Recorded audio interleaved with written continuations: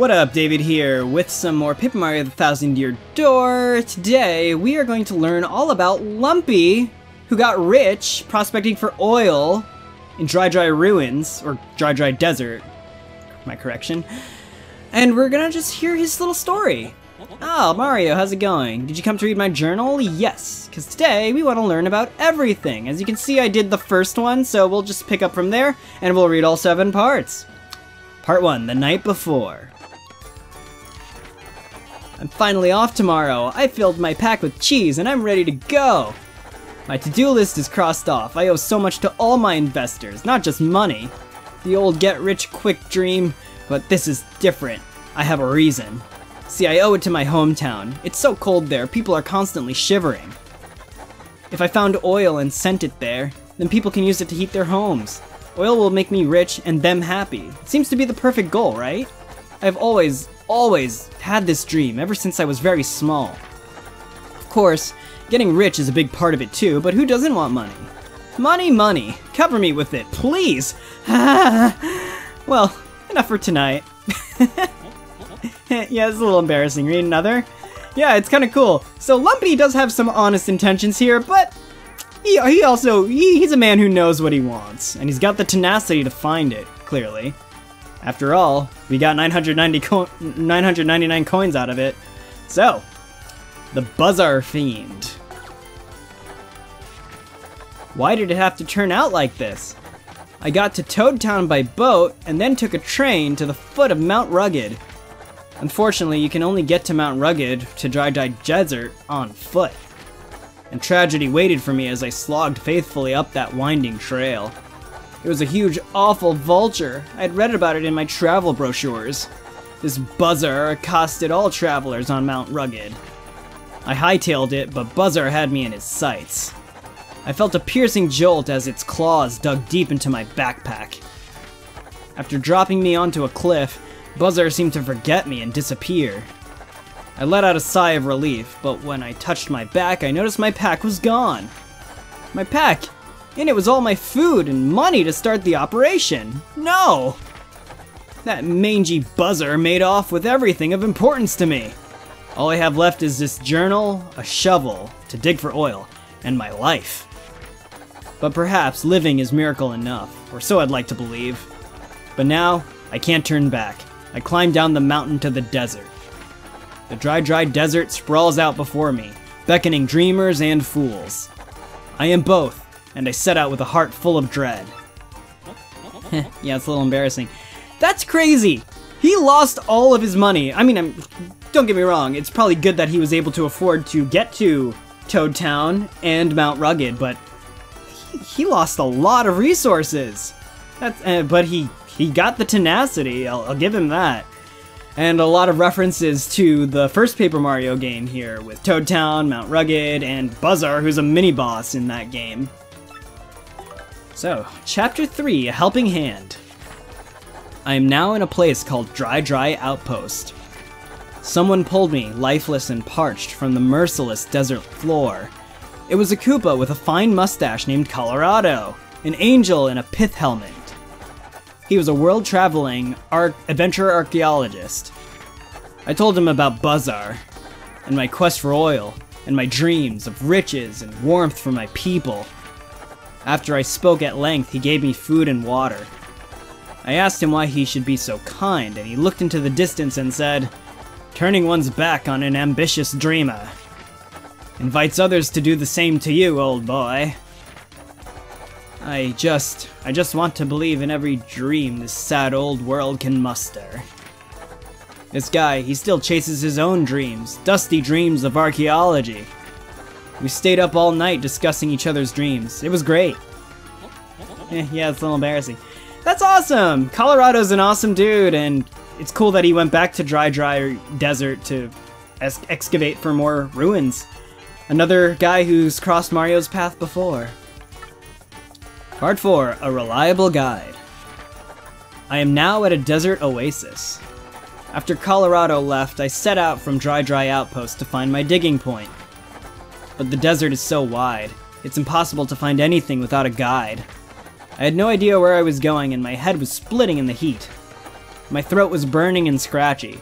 Was I awake? Was I asleep? I heard a voice calling to me from far away. Hey, are you a nice guy? If you're a nice guy, then give me something nice. I didn't have the food or water I received from Colorado. I had nothing. Why do you lie here? If you are a nice guy, give me a nice thing and I will help. I croaked. All I have is... All I have is my dream. When I next awoke, I was at this oasis. You're awake, I heard. There was a little Mouser there in a gray headscarf. My name is Moustafa. You had nothing to give, but I got something nice anyway. I don't know how or why, but it seems I had been saved by yet another stranger. Do you need a guide? If there is somewhere you want to go, I will take you. Unbelievable, I actually found a reliable guide. Yeah. How's that one embarrassing? That's cool! Moustafa was the guy who knew all about the ruins, and I think he was descended from, like, ancient folks, which is why he knew so much. But that's cool, and he even says, back when he was posing as Sheek, I think that's what the name was, and you had to give him like a lemon or a lime or something like that. but he said the same thing to Mario. If you're a nice guy, then give me something nice and I'll help you out, or whatever. So, part 5, the digging point. We're here! I'm finally at the spot where I'm supposed to dig for oil. I was told to draw a line from a blue cactus to a cactus-like rock. I went north a precise distance from the exact termination point. I ended up here, at a point between Dry Dry Ruins and the Oasis. Moustafa had guided me this far with skill and bravery.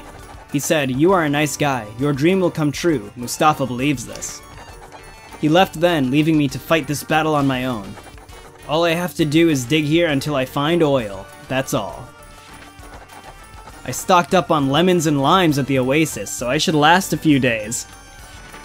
I must find that oil. That's crazy! This man's living off of lemons and limes? They're so tart! Both of them! Although I do, I did hear, I don't know if it's Italy or Japan, someone, some culture out there makes lemons that for some reason aren't sour. Like, I think it's Italy. You can just bite into them. Tell me what country that is, because I, I read about that. But who knows, maybe in this desert, I, I hope for his sake it's the same. But man, living off of citrus fruit. He won't get scurvy, that's for sure. And I believe the blue cactus you can find in the original Paper Mario in the desert, as well as the stone one. Nice touches. I should pinpoint where that is. That could be fun. Alright, part 6. The Long Dig. I am digging for oil now, and my hand shakes as I write these, perhaps final, words. I've been digging from sunup to sundown, but still no sign of that sweet crude. Maybe I've just picked a dry spot in this cursed spot in this cursed desert. I like to imagine as his hand's shaking, he just writes the ellipses every time. But I'm sure this is where Merluvlee told me to dig. Yes, I'm sure of it. Merluvlee in Dry Dry Outpost or Merluvlee in Rogueport Underground. I believe you could have equally have run into both. Who knows? There's no more food or water and even my hopes uh, have dwindled to nothing. Uh, this is a a dream dies here with me under these unforgiving skies. My dream. My. My. Wait, no. This is not it. My dream is of something else. Yes. Some something else. Dig. Keep Dig. He's like writing. if I use this pickaxe with my left hand and continue to write in my journal with my right, I can do it. I can do it. I can strike oil. I got it. I'll take a lemon from my bag and eat it. I must keep digging. Arms, move, body, work, find oil. it's a little embarrassing. Read another. Alright. Part 7 The Wrap Up. I am now on a boat back to Dear Rogue Port. I did it. I finally struck oil in that dry desert. I have left the day-to-day operation to my men in the field and now return home. It all came true. Striking it rich, finding oil, my dream. But somewhere along the way, this became more than just my dream. So many people have helped to make this dream happen. So many. You had nothing to give, but I got something nice anyway. Dear Moustafa, I just want to believe in every dream this sad world can muster. Ah, Colorado. People who lent me money, and gave me food, and showed me the way. So many hands reaching out to help me. I must do something for all of them. That feeling has pushed me even harder. I must share this feeling with the people that helped me as I struggled. I must share these words that have seared themselves into my heart. Dreams come true.